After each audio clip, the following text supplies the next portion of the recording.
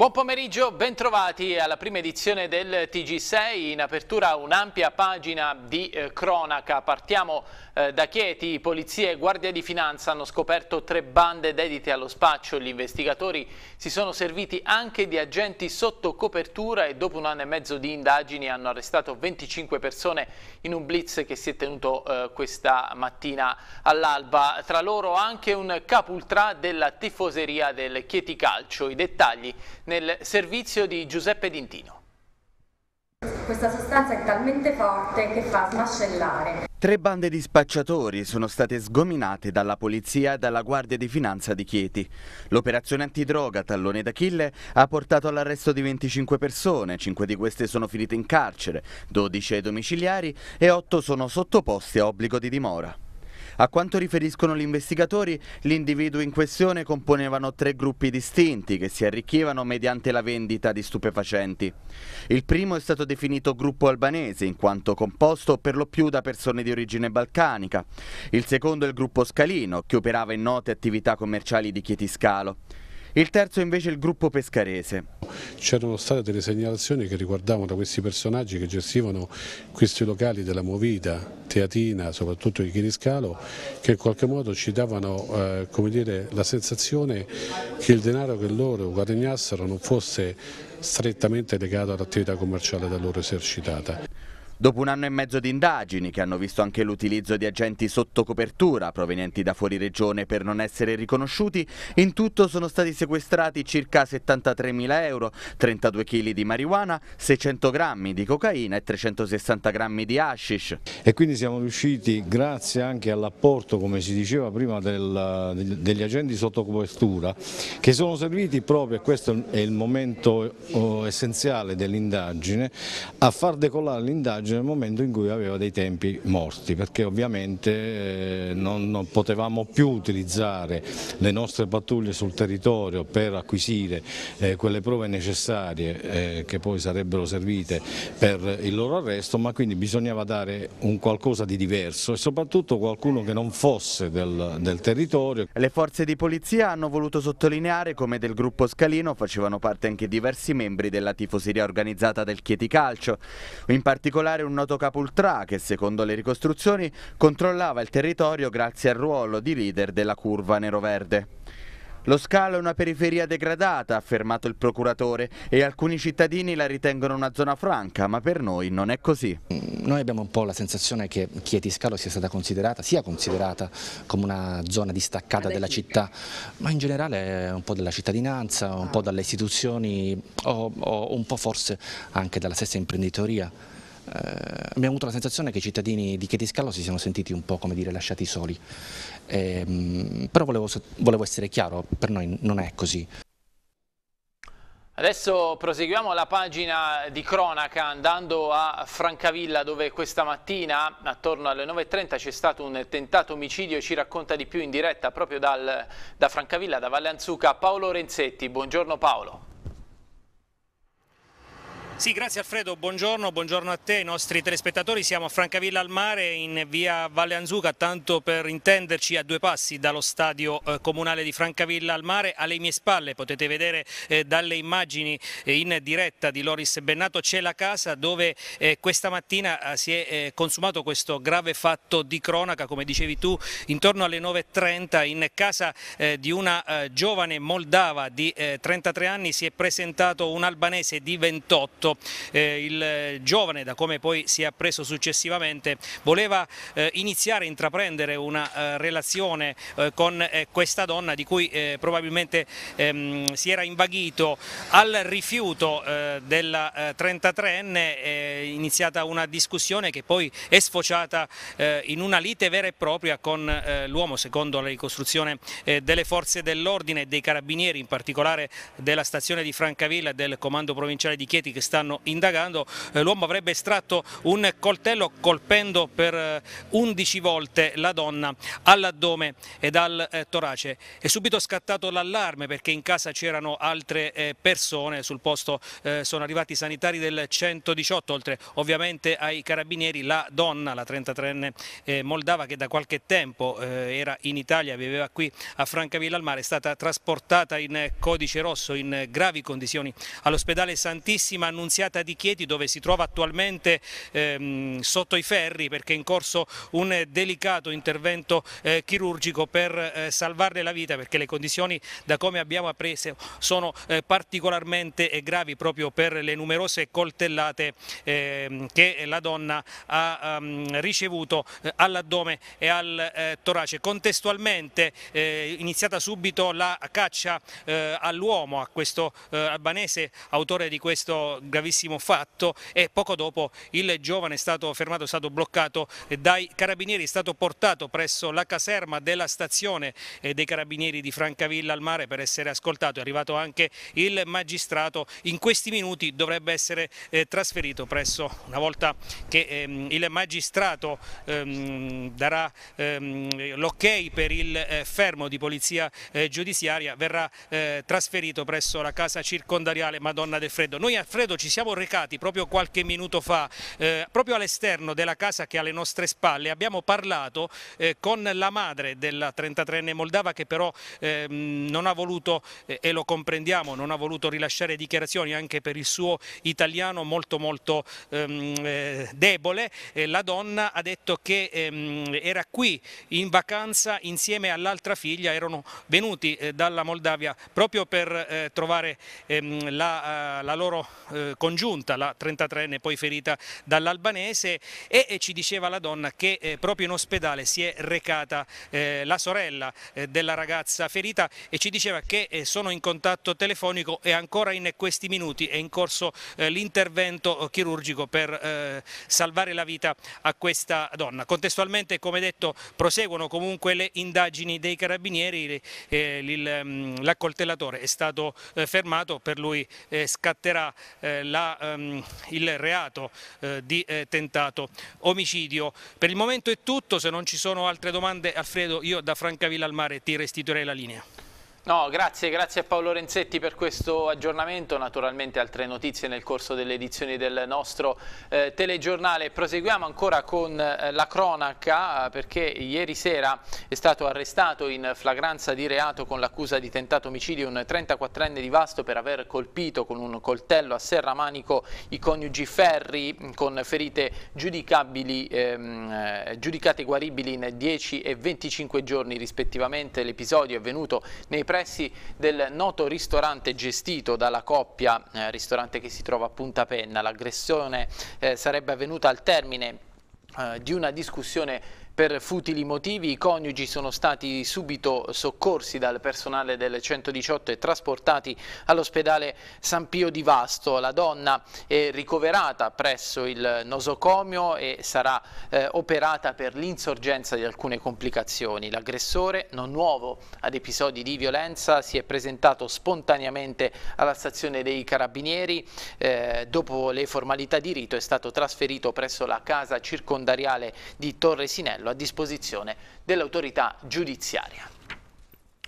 E noi adesso proseguiamo ancora eh, con eh, la cronaca che ci porta all'Aquila, furto al distretto sanitario di Pizzoli, ignoti si sono introdotti all'interno del presidio asportando la cassaforte con all'interno circa 600 euro in contanti, indagano i eh, carabinieri, il servizio di Daniela Rosone. Furto nel distretto sanitario di Pizzoli, consumato secondo la denuncia tra il 30 agosto alle 14 e le 11 del giorno successivo. Ignoti si sono introdotti all'interno dell'ufficio CUP del presidio sanitario di Pizzoli Torno in Parte che si trova in via Collemusino, portando via la cassaforte ancora al muro che conteneva, secondo le prime ricostruzioni, circa 600 euro in contanti, frutto del pagamento dei ticket e un fondo cassa. Secondo i primi rilievi delle forze dell'ordine stanno indagando Stando i carabinieri non ci sarebbero segni di effrazione nella struttura. La struttura peraltro non ha neanche un sistema di videosorveglianza che possa aiutare in qualche modo i carabinieri nelle indagini. Ovviamente i militari hanno ascoltato il personale che opera nella struttura sanitaria, lo stesso personale che da anni chiede maggiori misure di sicurezza. Andiamo avanti adesso, eh, voltiamo pagina, torniamo ad occuparci di quanto accade alle Naiadi. In attesa della riapertura dell'impianto, la CGL torna a chiedere garanzie ai gestori delle eh, piscine e alla Regione eh, rispetto al futuro eh, dei lavoratori. Vediamo.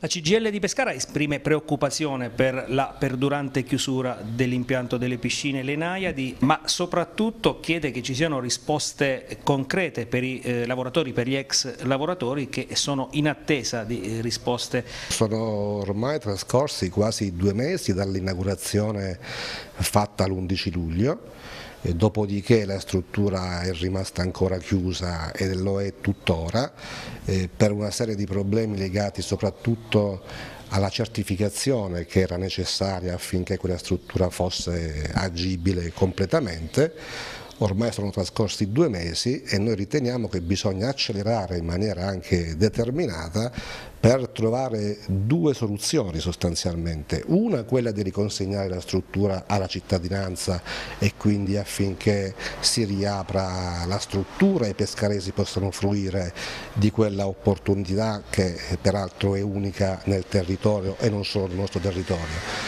due per dare una risposta a quei lavoratori che erano impegnati, circa una trentina, su cui al momento ci sono stati solo una serie di impegni eh, verbali dichiarati nel corso del eh, tavolo delle trattative, ma che ad oggi sono eh, tutti disoccupati perché sono stati licenziati dall'azienda precedente e non hanno ancora del tavolo una risposta e quindi sono in attesa di avere una ricollocazione. Per questo stiamo chiedendo la convocazione urgente di un tavolo perché riteniamo che bisogna bisogna passare dalle dichiarazioni fatte finora a dei fatti concreti per dare risposte. Secondo voi quando eh, verranno riaperte le piscine e le Naiadi? Dovrebbe essere la Regione che ci dice quando riaprono quelle strutture. Ci aveva detto che sarebbero riaperte l'11 di luglio, ma siamo al 3 eh, di settembre e sono ancora chiuse, per cui vorremmo capire noi quando riaprono eh, le Naiadi e quindi quale sarà la soluzione per i lavoratori impegnati fino a qualche mese fa. Adesso ci spostiamo a Teramo, gli asfalti sono ridotti a un colabrodo e l'amministrazione comunale redige un piano di interventi che stenta però a partire. Per questo ritardo il Movimento 5 Stelle attacca duramente uffici e dirigenti. Ci dice di più nel servizio Tania Bondici Castelli. Il piano asfalti per Teramo è pronto, redatto per la prima volta dall'attuale assessore Valdo di Bonaventura, stenta però a partire per problemi procedurali e burocratici. In città e nelle frazioni limitrofe la situazione è allo stremo, con strade dissestate, buche pericolosissime, senza parlare dei marciapiedi sui quali ogni giorno si registrano cadute dei passanti. Il Movimento 5 Stelle attacca duramente l'amministrazione comunale per questi ritardi e punta il dito soprattutto contro gli uffici e i dirigenti tecnici incaricati dell'attuazione del piano. Le riceve ogni giorno a proposito di asfalti eh, dei messaggi anche abbastanza drammatici. Eh, certo potrei farle vedere, anzi glielo faccio vedere il mio cellulare, questo messaggio che ho ricevuto proprio questa mattina di una signora, di una cittadina che abita in una piccola frazione eh, vicino Teramo. E parlandomi della sua strada, dicendomi che il sindaco si era impegnato a risolvere la situazione entro breve tempo, mi ha ricordato, se le vuole leggere, che c'è una persona malata, c'è un diabetico anche che è abbastanza grave e anche la signora che scrive è malata e dovesse succedere qualche cosa l'ambulanza non può accedere in questa piccola frazione per come è ridotta la strada. Quello degli asfalti non vuole essere una un, un punto fisso dell'opposizione, assolutamente, è soltanto un problema reale che la città e i cittadini hanno. Si è un po' strumentalizzato anche un nostro post che diceva che volevamo la, tra virgolette, frase bruttissima, la testa di Valdo di Bonaventura, assolutamente, non è il, politicamente è l'assessore che risponde eh, per l'operato dei suoi uffici, ma in realtà sappiamo che eh, è stato gestito tutto male dagli uffici stessi. E intanto ricomincia la scuola tra qualche giorno? Intanto ricomincia la scuola, intanto tornerà il maltempo e intanto le buche che c'erano l'anno scorso eh, sono aumentate e continueranno ad aumentare. Scende in difesa dell'assessore di Bonaventura la lista Teramo Vive che ricorda lo sforzo fatto dall'amministrazione per rastrellare e reperire fondi per gli asfalti in una città ridotta economicamente all'osso. Gli interventi dunque ci saranno, ma è ancora incerta la data d'inizio e si sa bene che l'inverno non è un buon periodo per lavorare sulle strade. Adesso andiamo a penne, continua ad andare avanti l'iter burocratico per l'assegnazione di, eh, di 12 milioni di euro destinati alla ristrutturazione e all'ammodernamento del nosocomio San Massimo. Proprio il Ministero della Salute ha annunciato che il decreto in questi giorni si trova al vaglio della Corte dei Conti, il servizio di Vestina News. Mentre il Partito Democratico Nazionale cerca l'accordo per la nuova formazione di governo, quello provinciale di Pescara cerca la quadratura del cerchio intorno a quello che sarà il prossimo impegno, vale a dire il congresso che porterà il nome del nuovo segretario che guiderà i democratici della provincia adriatica. Il circolo PD di Penne nelle scorse ore ha annunciato attraverso due documenti, l'uno del senatore D'Alfonso, l'altro del Ministero della Salute, la prosecuzione dell'iter burocratico sui finanziamenti di 12 milioni e mezzo di euro, chiacchierati da tempo, che serviranno per l'ammodernamento della struttura dell'ospedale San Massimo di Penne. L'iter burocratico non è completo. Infatti, come si può leggere sui documenti, il Ministero della Salute, con decreto del 7 agosto 2019, ha individuato gli interventi di edilizia sanitaria e previsto la stipula di convenzioni da sottoscrivere con le regioni beneficiarie. Allo stato attuale, continua la nota del Ministero, il decreto è sottoposto al controllo da parte della Corte dei Conti e nel momento in cui terminerà l'iter amministrativo sarà cura del Ministero stesso informare le regioni interessate. Da tanto tempo, commenta il segretario del Circolo PD Pennese Andrea Vecchiotti, si parla di questi ormai famosi 12 milioni, tanto che in molti ne hanno addirittura messo in dubbio l'esistenza. Tuttavia oggi registriamo, anche grazie all'attenzione e all'impegno dell'onorevole D'Alfonso, ulteriori passi avanti nell'iter per lo sblocco di questi finanziamenti che permetteranno di intervenire sulla struttura del San Massimo per renderla ancora più funzionale. Dopo le tante promesse fatte in campagna elettorale dalle forze politiche della destra, rigettate nei fatti dai ministeri romani e gli scippi alla viabilità dell'area vestina, finalmente una buona notizia. Come Partito Democratico va avanti Vecchiotti, continueremo a chiedere con forza e determinazione a tutti gli organi competenti investimenti nella struttura, nel personale e nella strumentazione operativi nel San Massimo, consapevoli che siano questi fattori a determinare la qualità di un servizio essenziale come quello legato alla sanità. L'iter burocratico purtroppo non è ancora giunto a termine, si attendono buone notizie nei prossimi giorni non solo per Penne ma per l'intero territorio vestino. La CNA ha presentato oggi a Pescara il premio nazionale Cambiamenti, giunto alla sua quarta edizione e che ha come obiettivo quello di dare dei riconoscimenti alle start-up eh, che innovano. Vediamo. Quarta edizione del premio Cambiamenti, oggi la presentazione in CNA Pescara, quali le novità? CNA Abruzzo parteciperà al premio Cambiamenti che è un contest, una gara nazionale tra le migliori start-up appunto nazionali che si candideranno. La migliore start-up del 2018 è stata una start-up abruzzese con sede legale eh, sotto l'Istituto Nazionale di Fisica Nucleare del Gran Sasso e sede operativa un laboratorio a Rapino su un progetto di ceramica eh, particolare con quindi mettendo insieme tradizione e ricerca. L'obiettivo di quest'anno è di eh, fare delle animazioni territoriali, quindi la CNA sarà presente su tutti i territori, Teramo, L'Aquila, Pescara, Chieti e anche Avezzano, con eh, delle tappe fondamentali di animazione che si concluderanno nella Torre Vinaria a Rocca San Giovanni con un evento che metterà insieme anche un'attività un di laboratorio di design thinking con delle imprese che si ragionerà sul ruolo del, delle nuove imprese e delle start-up. Si può vincere 20.000 euro di dotazione economica più la possibilità di, fare, eh, di partecipare a dei corsi gratuiti di formazione con player molto importanti e eh, anche due anni di, eh, di noleggio, auto, di noleggio a lungo termine di, di, auto, quindi questo sono un po' messi i premi in campo, in più CNE Abruzzo metterà in campo premi, con, premi di servizio, quindi voucher di servizio a disposizione per i primi classificati. Come arriveremo a selezionare le imprese? Faremo delle tappe di animazione, in seguito coinvolgeremo sia ehm, l'università che una commissione tecnica per selezionare le migliori start-up. Le prime tre le candideremo al premio nazionale, quindi saranno le tappe intermedie. La città di Teramo celebra il cinquantesimo anniversario di Woodstock con l'arrivo di Leon Hendrix, fratello del grande Jimmy. L'artista terrà un concerto sabato 7 di settembre in Piazza Sant'Anna alle 21.30 dopo aver presentato un libro che racconta la sua eh, folle vita. Sentiamo. Nel cinquantesimo anniversario del concerto americano di Woodstock, uno dei più grandi eventi musicali della storia, Teramo celebra questa ricorrenza con l'esibizione dal vivo di Leon Hendrix a Piazza Sant'Anna il 7 settembre prossimo. Un format che unisce musica e cultura, ideato dall'Associazione Equilibri Musicali e che farà sognare per una notte generazioni di persone al suono della chitarra di Leon, fratello del compianto Jimi Hendrix. Siamo riusciti praticamente a a contattare Leon Hendrix grazie a, al Fulvio Felisiano che, che, è molto amico di Antonio Gambacorta e quindi noi abbiamo mangiato subito la foglia e abbiamo deciso per l'occasione di, di portarlo a Teramo. Qual è il programma della giornata?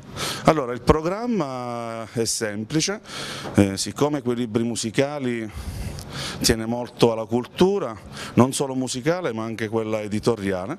Presenteremo il pomeriggio il libro che ha scritto uno scrittore Adam Mitchell su, eh, che si chiama Jimi Hendrix, mio fratello, quindi il libro eh, che è tratto da un'intervista di Lyon sul fratello, poi il pomeriggio della sera dalle nove e mezza a Piazza Sant'Anna comincerà il concerto dove aprirà un, un gruppo eh, di potenza, eh, la Blue Cat Blues eh, di Donato Corbo che tra l'altro è l'organizzatore della Connection Blues di Matera e poi eh, dalle 10 e mezza in poi ci sarà per l'appunto il concerto di Leon Hendrix che eh, verrà accompagnato dal gruppo di Fulvio Felisiano. Quanta gente vi aspettate e che pubblico vi aspettate? La figura di, di Jimi Hendrix abbast raccoglie abbastanza generazioni, diciamo, anche perché lui è rimasto sempre un po' eh, l'artefice di quella che è la chitarra eh, odierna, anche contemporanea. Quindi io credo che ci saranno un bel po' anche curiosi, perché Hendrix comunque è un nome, chiunque abbia a che fare con la musica, dal blues al rock, ha sempre un po' di curiosità riguardo a questo nome.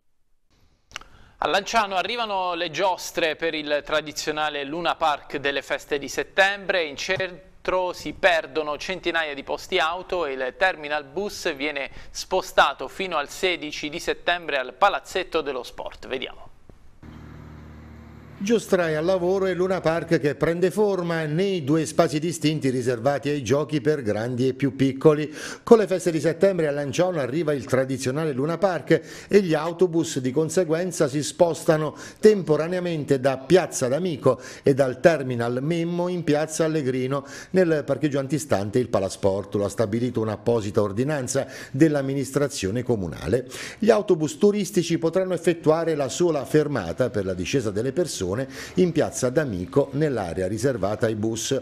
L'apertura dei due Luna Park è prevista per giovedì prossimo 5 settembre, chiusura il 18. Durante le giornate clou del 13, 14, 15 e 16 settembre, dalle ore 16 in poi i capolinea dei bus urbani saranno individuati in via Mario Bianco. I provvedimenti sono contenuti nel dettaglio dell'ordinanza 331 del 29 agosto 2019 con la cittadinanza pronta a sostenere sostenere i soliti disagi nel centro città, meno parcheggi, rischio multa, viabilità che subirà i previsti rallentamenti, routine da anni nei giorni di festa. Il divieto di sosta con sanzione accessoria della rimozione è previsto dalle ore 2 del 2 settembre alle 24 del 18 settembre in queste aree. Terminal Bus Piazza Memmo, compresa l'area di parcheggio esistente nell'area adiacente l'intersezione con via dei tribunali comunali. Divieto di sosta anche per tutta Piazza D'Amico e in tutta l'area corrispondente a quella dei parcheggi a pagamento. Divieti di transito nelle seguenti aree, Terminal Bus Piazza Memmo, strada d'ingresso sempre in Piazza Memmo per chi proviene da via del Torrione. Dunque, il Luna Park prende forma nell'attesa di piccoli e grandi, momenti di gioia che alleggeriranno ovviamente qualche disagio ormai sperimentato da anni.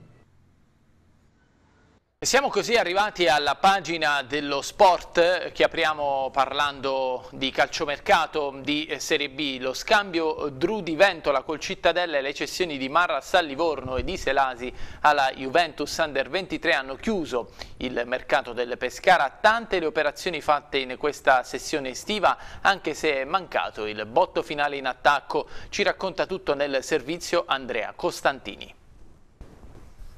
Il mercato si è chiuso con il puntello che mancava nel reparto difensivo, ma senza addizioni a quello d'attacco.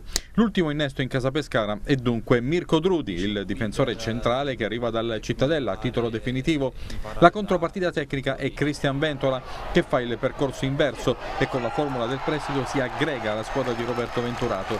Una contropartita, ha tenuto a precisare ieri il presidente del Pescara Daniele Sebastiani in collegamento con la trasmissione replay di Enrico Rocchi, che non è stata Matteo Ciofani il quale non è mai stato sul mercato, dove invece era Manuel Marras che sempre nella giornata di ieri ha lasciato il Pescara e ha firmato a titolo definitivo per il Livorno. Resta biancazzurro il portiere Elan Castrati che era stato accostato con insistenza al Lugano.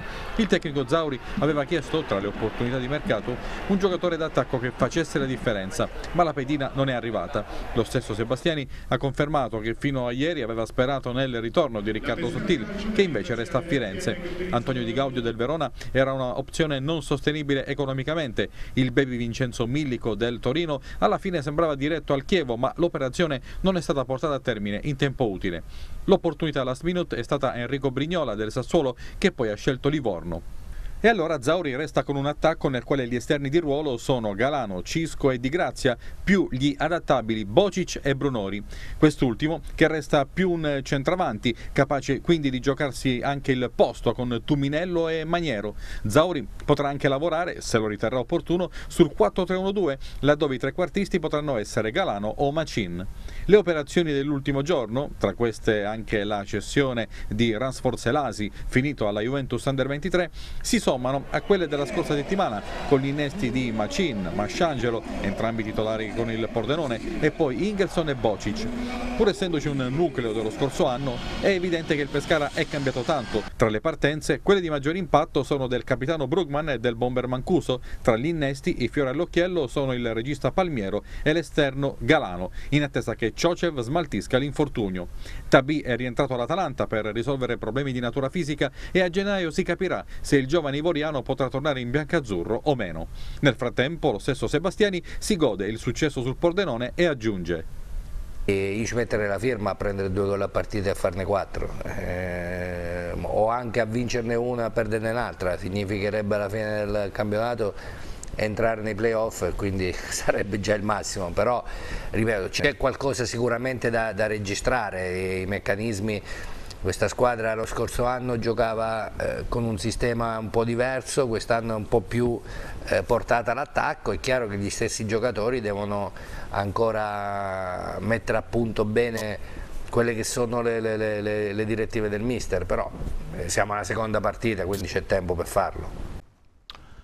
Facciamo il punto sul mercato anche per quanto riguarda il eh, Teramo mercato che si chiude con il colpo Costa Ferreira che va a rinforzare una linea mediana di altissimo livello. Arrivano anche Florio dal Pordenone e Valentini dalla Fermana, salutano invece Persia e Infantino. Vediamo il servizio di Jacopo Forcella. Il mercato del Teramo si chiude con il colpo Pedro Costa Ferreira, contratto biennale per il centrocampista ex Lecce che torna in bianco-rosso a distanza di qualche stagione e completa una batteria in linea mediana davvero di altissimo profilo. Costa Ferreira non è mai uscito dai radar biancorossi da quando l'affare in estate sembrava ad un passo dalla definizione prima dello stop temporaneo. Questo perché il portoghese ha voluto attendere una chiamata dalla Serie B mai arrivata e a quel punto il progetto Teramo si è fatto troppo coinvolgente per poter dire di no. Con Arrigoni, Bombaggi, Viero, Santoro, Mungo, Lassic e Minelli, Tedino avrà solamente l'imbarazzo della scelta. Insieme a Costa Ferreira nelle ultime ore di un mercato interminabile sono arrivati anche l'esterno destro Filippo Florio dal Pordenone che va ad occupare una casella ancora sguarnita, ovvero quella dell'alternativa Cancellotti che finora non c'era. Il ragazzo classe 96 arriva a titolo definitivo così come il portiere Mattia Valentini che tuttavia, e passiamo alle cessioni dell'ultimo giorno, fa il percorso inverso rispetto ad Angelo Persia che saluta il diavolo passando la fermana. D'altronde l'arrivo di Costa Ferreira avrebbe ingolfato troppo il reparto senza un'uscita sempre nella stessa zona di campo. Insieme a Persia davanti saluta anche Saveriano Infantino e lo fa dopo sei mesi durante i quali aveva contribuito con nove reti alla salvezza del Teramo nella scorsa stagione. Anche per lui si tratta di un ritorno a Carrara dopo una trattativa lunga e terminata solamente a pochi minuti dal gong. Con la partenza di Infantino saranno in cinque a giocarsi davanti una maglia da titolare K, Martignago, Magnaghi, Cianci e Birligea, sul quale l'allenatore e la dirigenza scommettono molto. In difesa invece resta Ivan Speranza, lusingato dal Pineto nei giorni scorsi ma ancora in organico. L'acquisto di Iotti toglie ulteriormente possibilità di giocare al difensore che tuttavia sembra comunque volessi giocare le carte durante la stagione. Infine altre due partenze che riguardano due giovani, Bregasi e Celentano. Il primo centrocampista rimane in Abruzzo e vestirà la maglia del Chieti, mentre il secondo esterno di difesa va sempre in Serie D, ma andando a rinforzare il Cerignola. Una rosa totalmente ricostruita dunque quella del Teramo che adesso ha una squadra 1 e una squadra 2, con le coppie in ogni reparto per provare a giocarsela alla pari con le grandi del girone C. Dopo la sosta forzata adesso c'è il banco di prova Avellino sabato sera per iniziare la rincorsa ai primi posti della classifica. Lasciamo il calcio adesso, è stata la locale sezione dell'Unione Italiana Tiro a Segno ad organizzare all'Aquila i campionati italiani di una nuova disciplina denominata Target Sprint. Vediamo il servizio.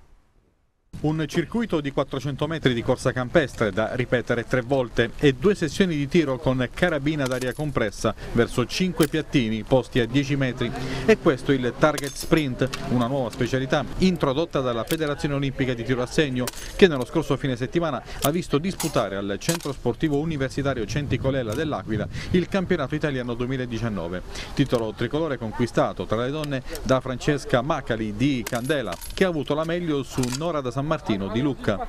Tra gli uomini la vittoria è andata all'alto atesino di ora Georg Unterpertinger che ha superato un altro lucchese finito al secondo posto, Lorenzo Chiocchetti. Eh, dopo una stagione, anche questa stagione lunga e con tante gare anche internazionali che comunque sono andate anche bene e per cui l'obiettivo è arrivare primo qui. Una gara si vince o si perde sul poligono, quello è così, poi eh, chiaramente i 400 metri sono una distanza tosta e farle tre volte bisogna essere preparato fisicamente in un certo modo, ma la, il tempo, la differenza la si fa sul poligono. Il tiro al segno essendo statico ha bisogno anche di una certa preparazione fisica, questo si raggrupperebbe in un modo un po' più divertente anche in una disciplina sportiva eh, di eh, convincere i tiratori di fare anche una preparazione atletica. Qui si unisce le due cose, si unisce il dovere di fare una preparazione atletica con il divertimento di una disciplina. Siamo in, in crescita, leggera crescita come ogni nuova disciplina ha bisogno di, del tempo necessario di essere introdotto, io penso che un, con un po' di, di pubblicità anche nei mass media, anche a voce così chi ha partecipato a delle gare sicuramente in futuro avremo dei numeri molto più alti. Grande soddisfazione per l'Unione Italiana Tiro a Segno dell'Aquila che ha organizzato l'evento, un traguardo che gratifica chi come il sindaco di Silvia Andrea Scordella in passato è stato presidente della sezione aquilana. Questo è stato un percorso che è partito dopo il 2009 sulla fase di ricostruzione appunto della eh, post terremoto e noi siamo ripartiti veramente con una struttura nuova e abbiamo fatto tantissimo in questi anni con la realizzazione di, di queste nuove le strutture qui sul centro sportivo universitario a cui ringraziamo anche il professor Bizzarri per la possibilità di immetterci in questo bellissimo scenario. E noi abbiamo puntato molto sull'organizzazione degli eventi, dunque eh, la finale nazionale ma anche gare regionali che hanno riportato finalmente l'Aquila all'attenzione del, del, tiro, del tiro a segno. Abbiamo fatto una scommessa noi tutto sommato perché in un, eh, in un mese abbiamo avuto questa diciamo, incombenza di realizzare una, un circuito e un poligono di tiro ad aria compressa naturalmente all'aperto e con l'aiuto e la buona volontà di, dei soci volontari che hanno rinunciato anche alle, alle, vacanze perché insomma agosto è un mese caldo in tutti i sensi siamo arrivati a, nuova, a questo nuovo traguardo. È la prima finale in Abruzzo tra l'altro che si disputa eh, a livello nazionale. Per questo quindi ringraziamo anche l'Unione Italiana Tirassegno per questo riconoscimento importante e noi ne saremo all'altezza. Ecco, è tutto per questa edizione del TG6, io vi ringrazio per averci seguito, se volete trovate in demand i nostri servizi sul canale YouTube dell'emittente e sul sito www.tv6.it, vi auguro un buon proseguimento con i nostri programmi.